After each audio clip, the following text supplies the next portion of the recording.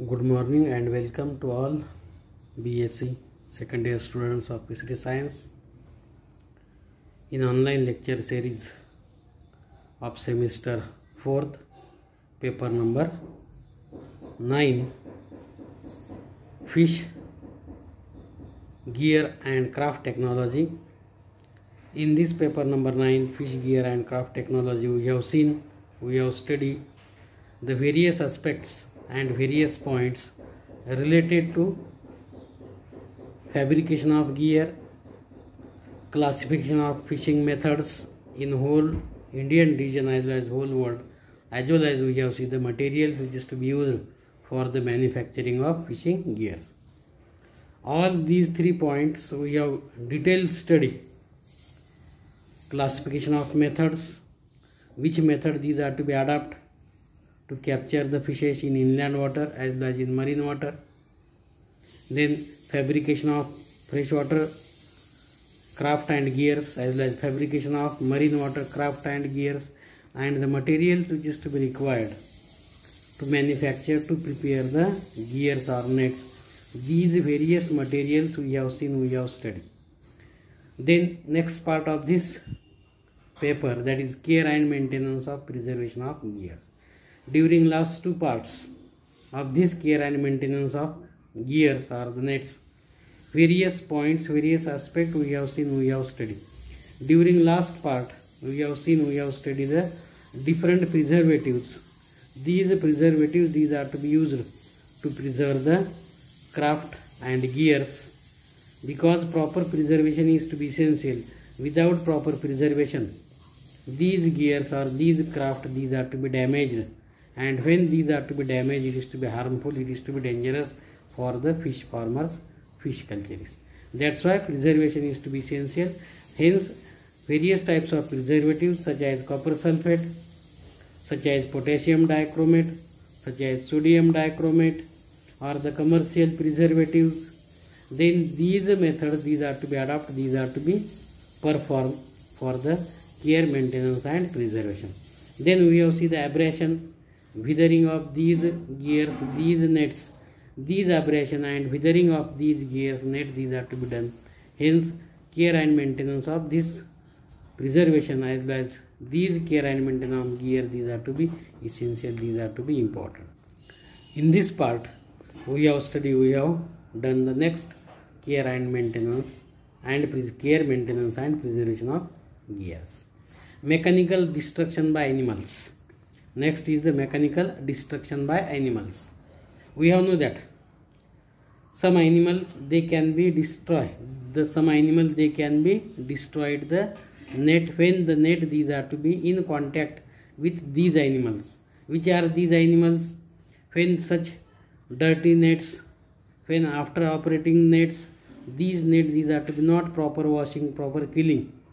Due to the insect due to the fishes rats white ants cockroaches these different animals rats white ants cockroaches these animals can damage the fishing net if the nets are not properly store, stored or properly clean with a fresh water or a clean water.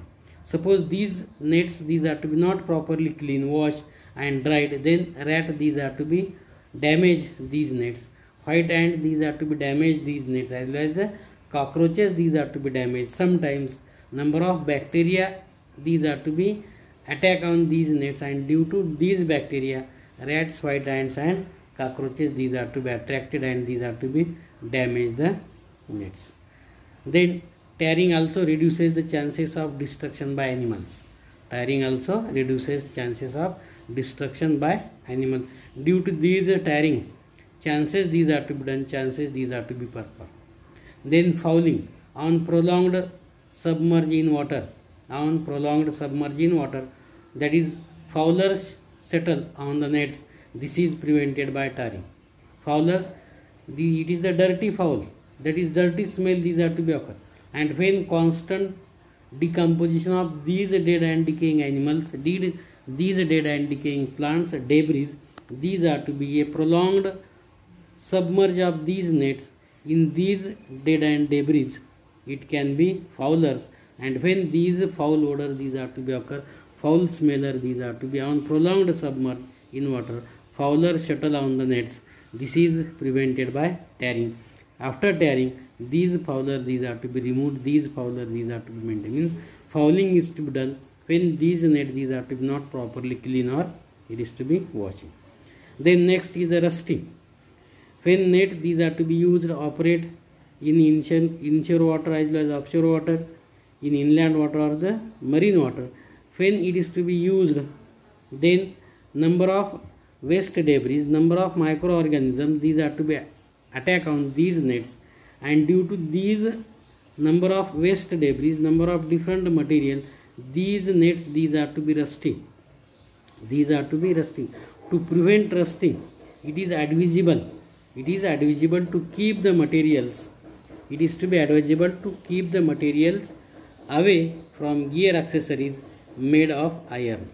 To avoid these materials to avoid these rusting to avoid these rusting to prevent rusting it is advisable to keep the materials to keep the net away from the gear accessories made from irons. Means to avoid these rusting those material which is to be used for manufacturing for preparing these nets that is iron materials those nets those materials of these nets these are to be away from the iron because iron itself in contact with humid and water with air it can be rust. And with this iron rusting net is also rusting. And to avoid this rusting the material these are to be away from the iron. It can be saved it can be saved. Treatment to increase stiffness to increase the stiffness of these net which treatment can be done which treatment can be performed? Treatment to increase stiffness. Stiffness of material can be increased. Stiffness of the material can be increased either by giving additional twist or by tarring. Either by giving additional that is twist or the by tarring. This stiffness of the net material stiffness of the gear material can be increased either by giving additional twist or by tarring. This twist stiffness of twins or stiffness of nets these are to be removed. Stiffness is of significance in gears like trawls. Stiffness is of significance in gears like trawls. Means in trawls or the other net this stiffness these are to be important. Due to these stiffness net can be clean net can be washed and it can be a free from these waste parts these rusting fouling or mechanical destruction that's why stiffness of these gears these are to be important such like the trawl net such like the trawls these are to be stiffness the next treatment of these gears or net that is treatment to prevent knot slippage treatment to prevent the knot slippage knot slippage slippage knot that is गाठी जे जाळ्याला गाठी असतात किंवा नेटला गाठी असतात ह्या गाठी तुटल्या तर सगळं नेट काय होतो? खोलतो किंवा तो निघून जातो. To avoid this prevent knot slippage म्हणून ह्या गाठी सुटू नयेत. या गाठी डॅमेज होऊ नयेत. म्हणून आपल्याला काय करता येईल?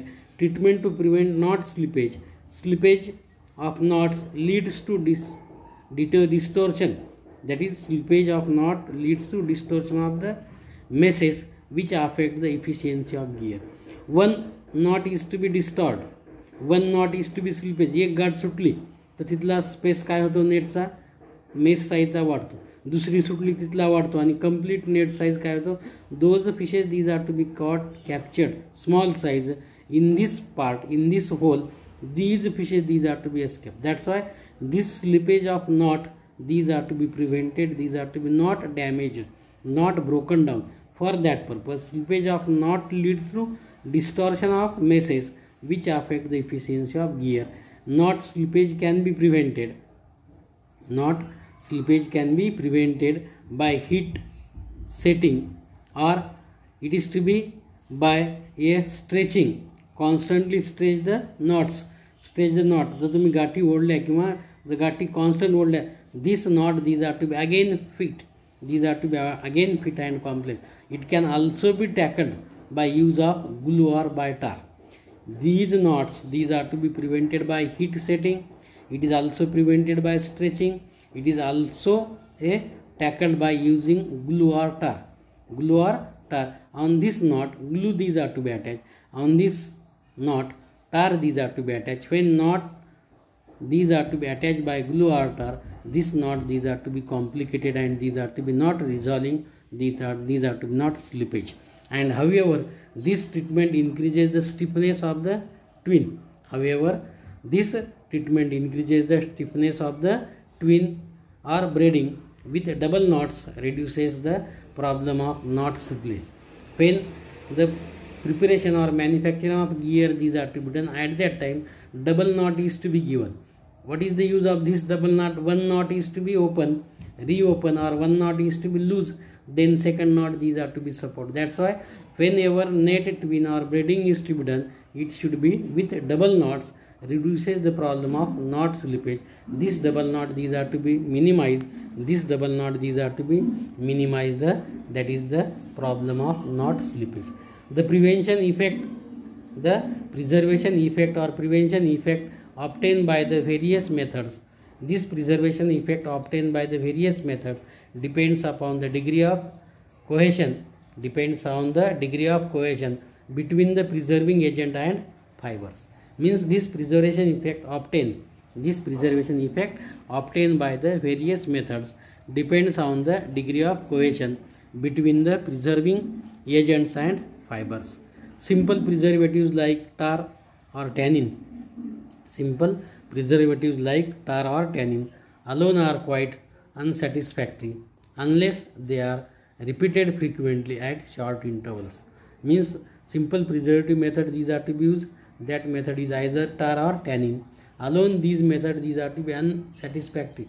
But when these are to be constant repeated frequently for short interval constant this method these are to be adopted repeat again and again then it is to be affect and it is to be control the that is the not slippage the side effect of if any nets or side effect of these simple preservatives of preservatives like change in stiffness flexibility extensibility elasticity weight color shrinkage etc have to be considered before their selection. Means those preservatives which is to be we can use those preservatives which is to be we have used to preserve the nets gears prior to use these preservatives prior to use these preservatives those are the side effect. Those are the disadvantages of these preservatives. It can be we have studied it can be we have checked. Which are the problems for due to these preservatives? Change in stiffness due to preservatives. Change in that is flexibility. Change in extensibility. Change in elasticity. Change in weight. Change in color. Change in shrinkage. Etc. have to be considered before their selection.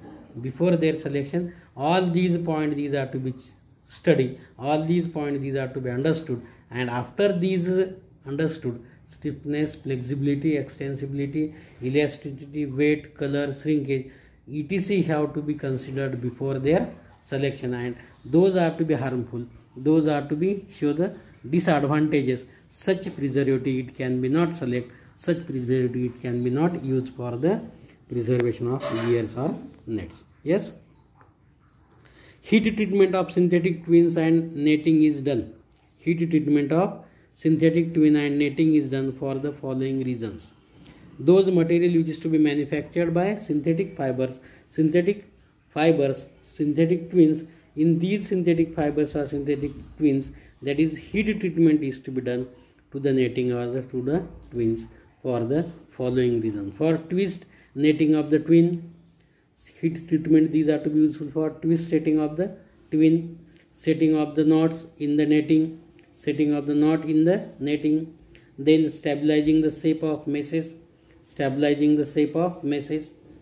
These three reasons heat treatment these are to be important. Which are the three reasons twist setting of the twin setting of the knots in the netting and stabilizing the shape of meshes this heat treatment these are to be essential these are to be important.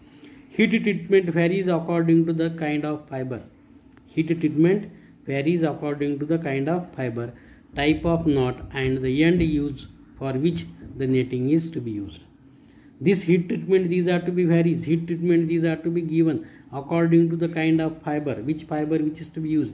That may be thick fiber or thin fiber, it is to be durable, it is to be long exposure to heat or it is to be short exposure to it.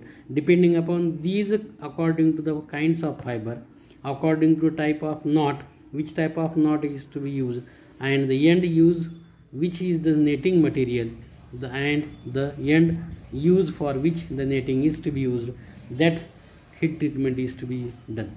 By adjusting the process by adjusting the process the flexibility of the twins can be modified.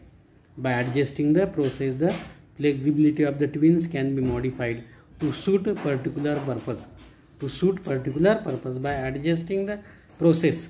The flexibility of the twins can be modified to suit the particular purpose. Particular purpose these twins these are to be modified. These twins these are to be done by modifying to suit particular purpose. Hard fibers can be made softer and soft fibers stiffener. Hard fibers can be made softer and soft fibers can be stiffened more stiffened maximum as compared to these fiber as compared to these region. All freshly fished gears all freshly fishing gears or fished gears are more or less contaminated with fish slime and other matter which should be removed as quickly as possible. Those nets those gear these are to be used to catching the fish. Those nets these are to be used to capture capturing the fishes as possible as when these nets these are to be used to capture fishes these nets these are to be contaminated more or less with fish slime. Fish slime these are to be attached to these nets. Fish material these are to be attached to these nets. That is slime these are to be attached and other matter debris waste part. Then that is the fecal matter dust particles mud particles these are to be attached to the nets as possible as these fecal matters as possible as these slime these are to be quickly removed and quickly washed with clean water or with a clean and cold water. Then soaking nets for a day. Soaking nets for a day or two in clear fresh water. That is soaking nets net is to be soaking for a day time or for a day or two in clear fresh water prior to storage in simple way. Prior to storage in simple way to get rid of to get rid of any marine growth which can be have become attached to the webbing. Those are the nets these are to be used for catching for capturing the nets in inland water or in marine water. To get ready such marine growth those are the soaking nets for a day or two days in clear fresh water prior to storage in a simple way. To get rid of any marine growth which may have become attached to the webbing which may have attached to the webbing in the case of treatment of nets in the case of treatment of nets they should be clean and thoroughly dry before its application. These nets can be, treatment of these nets can be done but prior to treatment of these nets, these nets should be clean and thoroughly dry before its application. To apply these chemical, to apply these preservative, net can be clean and dry before application of these chemicals, these preservatives. Yes.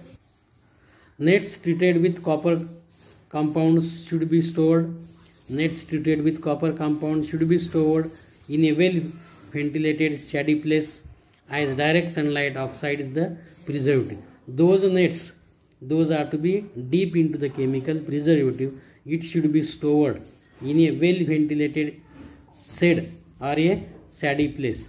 Direct sunlight, these are to be not exposure on these nets because due to the sun, direct sunlight, these nets, these are to be oxidized and they can be damaged. They can be damaged to the strong heat. Hence such a net these are to be shaded dried in a shades dried in a shady places. For tannin treated nets the treatment should be repeated. For the tannin treated nets the treatment should be repeated at regular intervals to give maximum life those nets these are to be deep penetrated into tannin these nets are to be repeated procedure these are to be done at regular intervals when these are to be done with regular intervals, it can give a maximum life, it can store for maximum period. Tarred webbing should never be happened. Tarred webbing should never be happened when it is freshly tarred.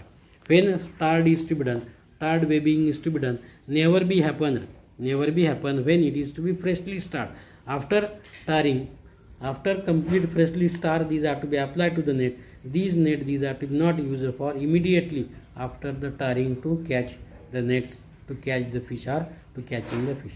The best storage of starred nets is to hang them up. The best storage of for starred net is to be hung them up under shade where they will get dried by the air but protected from the direct sunlight. These nets, these are to be best storage for tar nets is to be hang them up under shade where they will get rid by the air but protected from direct sunlight. From direct sunlight is to be avoided because this direct sunlight is to be cause the effect on these starred nets. Then storage of nets. All these preservative technique these are to be done. Preservation these are to be done. What is the storage of net? How this net these are to be stored? The storage of net is to be important it is to be most useful. The improper storage of net result in considerable damage to the gear. Those net these are to be not properly stored. Those net these are to be not properly maintained. Net not properly storage condition. Improper storage of nets result in considerable damage to the gear the net should preferably the net should preferably be washed immediately after use and dried in set. Those net these are to be used in rural areas in ancient time. Fishermen they can use the various types of net and after using these net they can be clean with water and dried on a open area for half an hour or one hour. Within this half an hour, one hour, the net is to be completely dried. Means the net should be preferably washed immediately after use and dried inside. A wet net peeled up under a light cover may be quickly ruined by bacteria and mildews. Those net these are to be wet in peeled up under a tight cover may be quickly ruined by bacteria and mildew.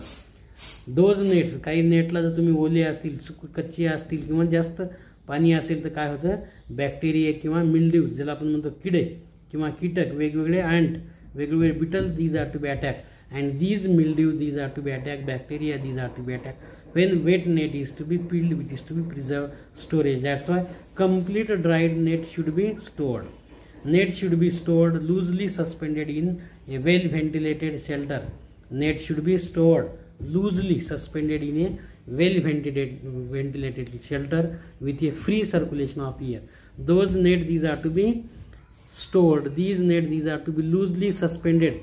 On a scaffolding these are to be loosely suspended. On a well ventilated shelter where free circulation of air where air is to be passed freely. Within this air some freshness these are to be occur and net is to be stored for long period. If it is necessary to heat the nets it is necessary to heat the nets. Liberal quantities of salt should be used liberal quantities of salt should be used between the layers of the twin. When it is to be possible it is to be possible to necessary to heap the nets to heap the nets liberal quantities some quantities of salt. That quantities of salt is to be used between the layers of these nets. Means when we have stored these nets in a layer at that time these salt these are to be used. These salt these are to be a good preservative and it can preserve the net in good condition with this different ways with this manner, these nets can be stored and all these are the care, maintenance and that is preservation of gears. With the help of these above various technique, various methods, our nets, our gears, we can care, we can maintain and we can preserve the gears, storage the gears in a different technique and different way for long time, for long period. Hope you understood. This is care, maintenance and preservatives or preservations of gears, those gear which is to be used to capture the fish in inland water or the marine water. Thank you all of you.